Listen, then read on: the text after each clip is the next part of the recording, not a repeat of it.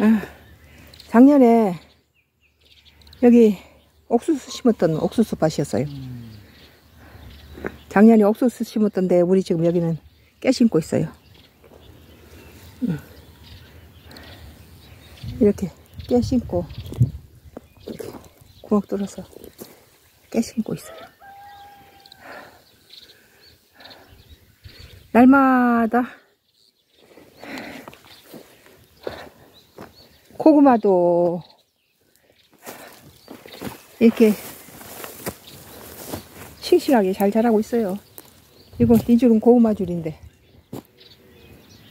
고구마도 잘 자라고 있고 저기 집 앞 집 옆에 텃밭에 고구마를 많이 심었어요. 이 옥수수도 잘 자라고 있고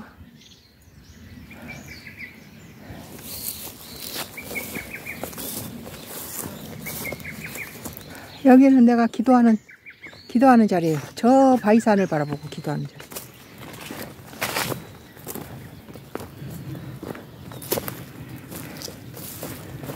저기 바다가 보이죠? 반짝거리는 게 바다예요.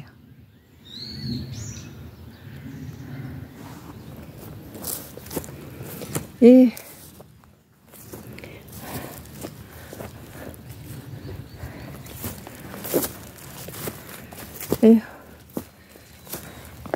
옥수수하고 감자가 섞어 심었는데 감자가 그 염소똥을 이렇게 뿌려줬더니 염소똥에가 호박 씨앗이 들어있었나 봐요.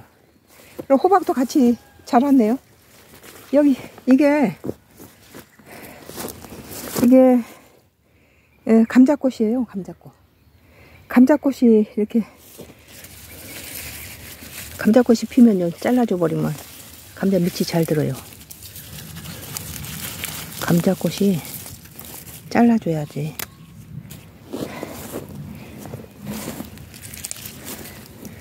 여기도 감자꽃이 피었네요. 감자꽃이 하얀 이렇게 꼬대가 노란 게 붙었죠. 이런 거 잘라줘야지 영양가가 밑으로 밑으로 가는 거예요.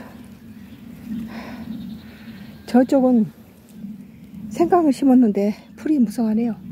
생강이 이제 풀이 좀 그늘을 만들어주면 생강은 좀 그늘에서 키워야 되거든요.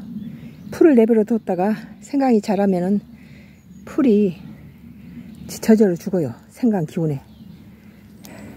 풀 속에다가 심어졌으니까 그늘이 됐겠죠.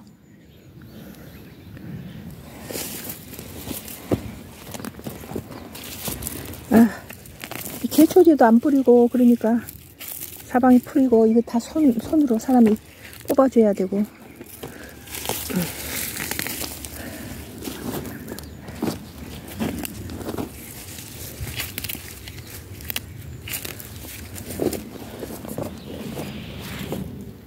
여기 수박, 수박이 꽃이 피네요. 아, 수박 꽃 피었어요. 염소똥에다 수박을 이렇게 심어, 심었더니, 아이고, 수박이 꽃이 피었어요. 음, 세상에 조그만 수박이 꽃이 피었네요.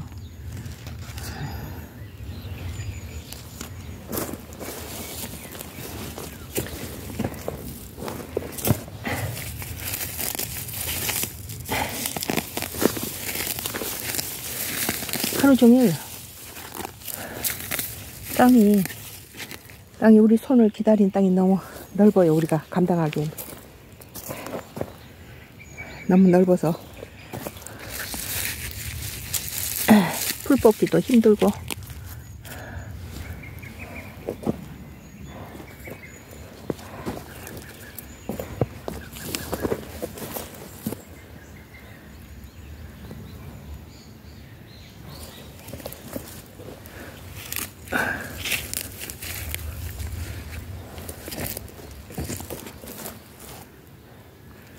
날마다 예 감자가 이게 감자가 나오면 파랗게 변해버리니까 흙을 북돋아 줘야 돼요.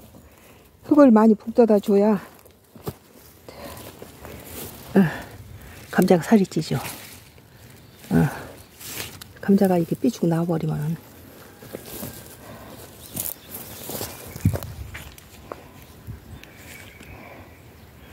여기 염소똥 사이에서 이렇게 호박이 씨가 살아서 변에 섞여서 나온 걸 염소똥을 이렇게 거름을 주니까 소박이 이게 감자하고 옥수수하고 호박하고 같이 섞어서 지금 자라고 있네요. 아.